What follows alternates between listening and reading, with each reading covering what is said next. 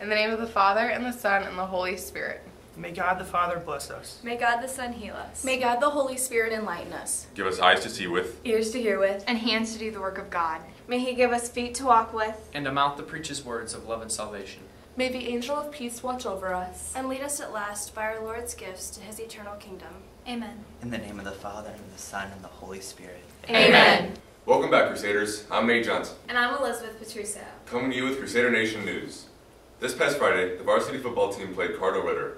Even though they had an unfortunate loss, the Crusaders put up a tough fight, losing 12 to 10. The fan support was amazing, even through the soggy weather. Way to go, Crusader Nation. Speaking of fall sports, varsity soccer dominated on Saturday, beating Fort Zumwalt East 6 to nothing. Today, the varsity softball girls have their first conference game at 4:30 against Notre Dame. So pop on out to support the varsity girls. Speaking of showing support, one of our very own seniors, Jordan Barr, is now a published author. Here's a minute with Maddie to find out more about Jordan's book. Hi, I'm Maddie, and this is a new segment called Minute with Maddie. Today we're here with Jordan Barr to talk about her new book, Young. Hi, Jordan. Hi. So, what inspired you to write your book? Uh, when I was younger, I just started writing like short stories, and I just always loved writing, so I thought, why not make a bigger book? That's really cool. And was there anyone in your life that inspired you to write your book? Um, there was no one in particular, but when I was writing the book, Terry Cope was a big help on like editing it as well as giving me feedback. And if you could describe your book in three words, what would you choose? Um, probably love, money, and drama. And was there any reason in particular you chose those three words? Well, I kind of like to think of the book as kind of like John Green writing with like elements of romance. As well as that, money plays a big part in the main characters' lives because they're all super rich, kind of like celebrities. And since they're not really close with each other, they're equally best friends, but they're also kind of like frenemies. Mhm. Um, oftentimes, their disagreements escalate into big fights. That's really cool. And after writing your book, what would you say would be the hardest part? Um, probably the hardest part was the time commitment because it took me over two years to write it. Thanks, Jordan. If you want, you can find Jordan's book, Young, here in the library or on Amazon. Thanks for watching.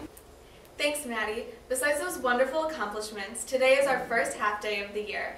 We hope everyone has a great and relaxing rest of their day. But before you do, check out Nick's hallway highlights. Hey, John. I was wondering, what are you going to do on this beautiful half day?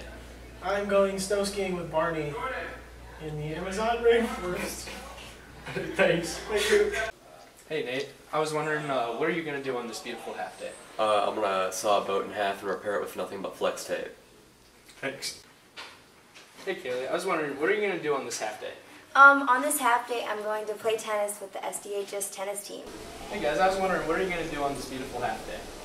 I will be going to physical therapy and the doctors to get released from my concussion. Might get the DQ five buck lunch.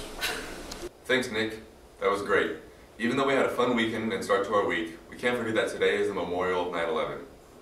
We would like to take a moment of silence for those who died and remember them in our prayers throughout this day.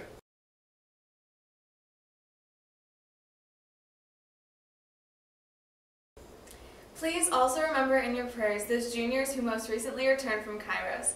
We hope this retreat will stay with them forever. Finally, I'm Nate Johnson. And I'm Elizabeth Petruso, Signing off.